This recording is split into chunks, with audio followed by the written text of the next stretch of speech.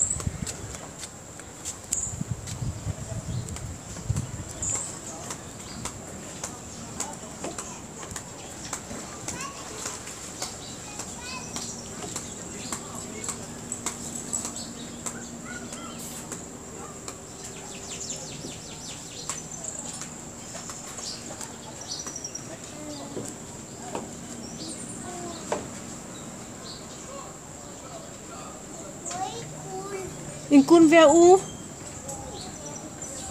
Vers la mer ou vers la rivière